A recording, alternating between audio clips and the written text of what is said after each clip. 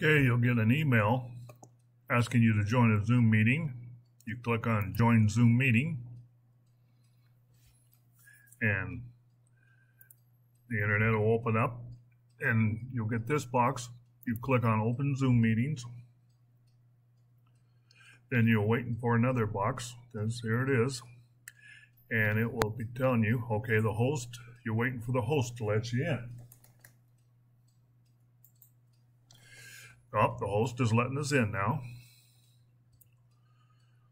And then it'll ask you, do you want to join with computer audio? Yes, you do.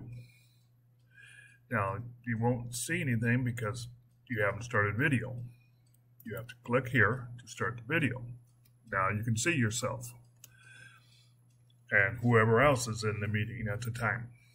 If you want to mute yourself, you click the mute button, you would be muted. Okay. And whoever's talking has a green box around them. There's also the speaker view, which only the person speaking has the view. Or gallery view, where it shows everybody that's in the meeting side by side. When the meeting's done, you want to leave, click leave, leave meeting, and you're done.